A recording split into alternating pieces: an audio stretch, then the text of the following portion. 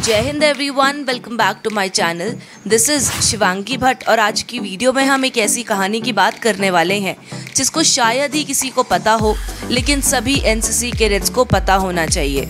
ये स्टोरी है एनसीसी की ब्रेवरी और करेज की। जब एनसीसी कैडेट्स ने 1965 इंडिया पाकिस्तान वॉर में काफ़ी इम्पोर्टेंट रोल प्ले किया था और एनसीसी के सार्जेंट प्रताप सिंह को शौर्य चक्र से सम्मानित किया गया था। सुन के लगा ना इंटरेस्टिंग तो चलिए वीडियो स्टार्ट करते हैं। 1965 इंडिया पाकिस्तान वॉर में एनसीसी कैडेट्स एक इंपॉर्टेंट रोल प्ले कर रहे थे। जैसा कि आप सब जानते हैं एनसीसी को सेकेंड लाइन ऑफ़ डिफेंस भी कहा जाता है। तो जब भी कोई वॉर होती है तो एनसीसी कैडेट्स हमेशा ऐसे टास्क में आगे आते हैं। सिमिलरली 1965 की इंडो पाकिस्तान वॉर में एनसीसी कैडेट्स एक इंपॉर्टेंट रोल प्ले कर रहे थे। कैडेट्स सिविल डिफेंस टास्क में लगे थे। और पूरे वॉर टाइम में एनसीसी कैडेट सिविलियंस और मिलिट्री अथॉरिटीज़ के साथ सेक्टर्स में हेल्प कर रहे थे। साथ में first aid search and rescue essential services जैसे कामों में भी एनसीसी कैडेट्स लगे हुए थे। कैडेट्स को आकाशवाणी टेलीफोनिक एक्सचेंज और पोस्ट ऑफ़िस में गार्ड पे काम पे भी लगाया गया था। लेकिन इन सब कैडेट्स के बीच से एक नाम जो अपने आउटस्टैंडिंग इंस्टेंस ऑफ़ करेज के लिए सामने आया, वो था सार्जन प्रताप सिंह का।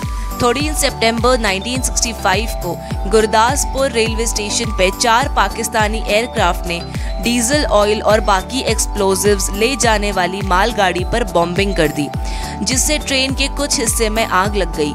आग इतनी भयंकर थी कि अगर वो ज़्यादा फैल जाती तो बड़ा एक्सप्लोजन हो सकता था, जिससे आगे की सप्लाईज भी रुक जाती।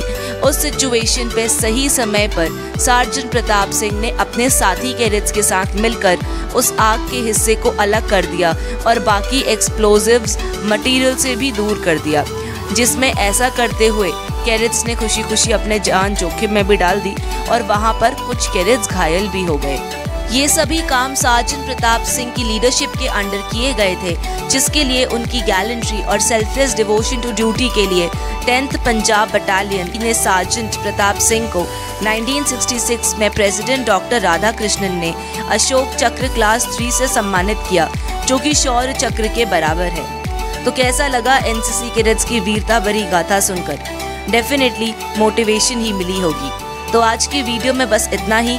मिलते हैं नेक्स्ट वीडियो में with a fresh new topic till then stay motivated take care जय हिंद